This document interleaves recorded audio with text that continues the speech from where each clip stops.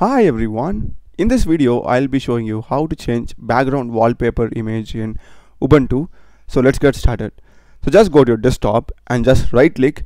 You'll be having an option called as change background.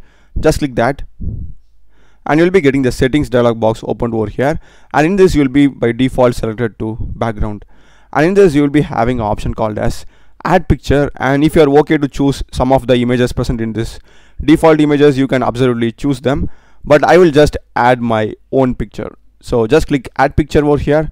And here we need to select our own picture. So I'm having this picture over here. So I'll just drag and drop it inside this. Yeah and just click on open. Yeah so you'll be getting this picture over here. And if I just now select this picture that's it. Our custom picture will be now applied to the background. And if I just now close this yeah this is this will be my permanent background. So I hope you would have found this video useful do check the playlist of my channel. I run a lot of videos in C, C++, Java, Python, Node.js, React.js, MongoDB, MySQL and programming and AI videos. Check them out. Subscribe me. Thanks for watching.